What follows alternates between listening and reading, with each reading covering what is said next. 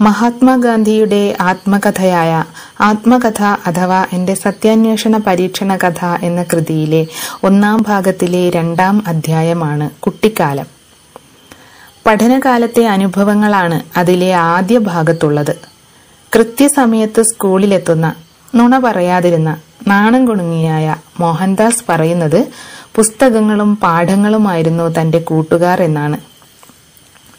പോർബന്ദർ സ്കൂളിൽ നിന്നും സബർബൻ സ്കൂളിലേക്കാണ് പിന്നീട് അദ്ദേഹം പോയത്.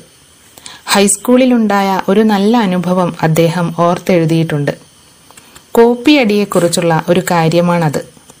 ആദ്യ വർഷത്തെ പരീക്ഷാ സമയത്ത് വിദ്യാഭ്യാസ ഇൻസ്പെക്ടറായ മിസ്റ്റർ ഗെയിൽസ് പരിശോധനയ്ക്ക് വരികയുണ്ടായി.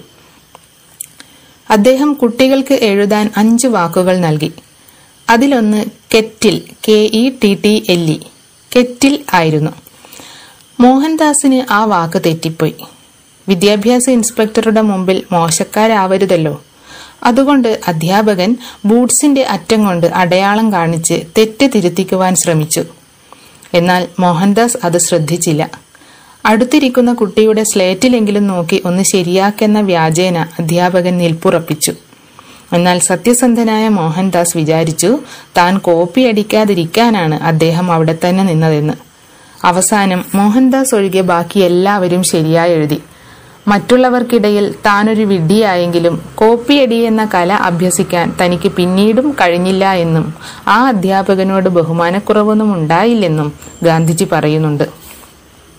അദ്ദേഹം പറയുന്നു മുതിർന്നവരുടെ ആജ്ഞകൾ പാലിക്കാനാണ് അവരുടെ പ്രവൃത്തികൾ പരിശോധിക്കാനല്ല ഞാൻ ശീലിച്ചിരുന്നതെന്ന്.